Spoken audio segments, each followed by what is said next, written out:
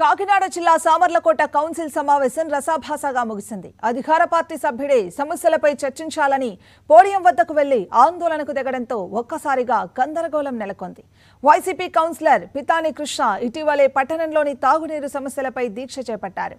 వాటన్నింటి పరిష్కారంపై GO hour zero అవర్లో చర్చించాలని పట్టుబట్టారు. అయితే చైర్పర్సన్ ఒప్పుకోలేదు. ఇదే సమయంలో మిగతా కౌన్సిలర్లు కృష్ణతో పాటు మరో కౌన్సిలర్ రాజ్ కుమార్తో వాగ్వాదానికి దిగారు. పోడియం వద్దకు వెళ్ళి ఆందోళన చేయడాన్ని సీరియస్గా తీసుకున్న చైర్పర్సన్ కృష్ణను మూడు నెలల కౌన్సిల్ నుంచి సస్పెండ్ చేశారు.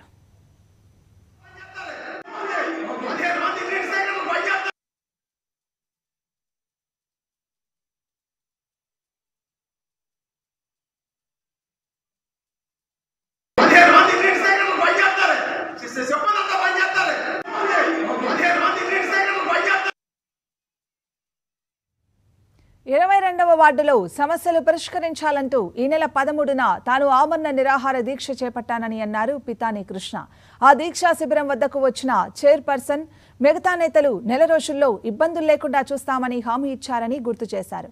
ఇప్పటికీ ఆ దిశగా అడుగులు పడకపోవడంతో ప్రశ్నించినందుకు తనపై కక్ష కట్టారని అంటున్నారు.